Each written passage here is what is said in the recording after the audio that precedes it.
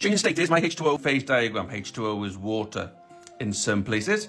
So this is a phase diagram. I got axis. I got so Q is energy really, joules. This is temperature. So H2O at minus 20, H2O is ice, solid.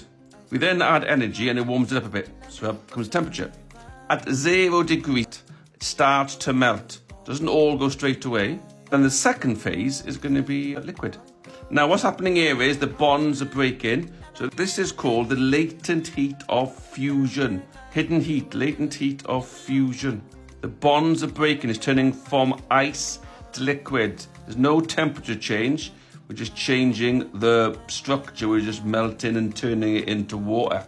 Then it goes up, something happens at 100, you all have a cup of tea. Water doesn't evaporate straight away. This is called the latent heat of evaporation. It takes a while for water to turn into steam, vapor, whatever you want to call it, over here.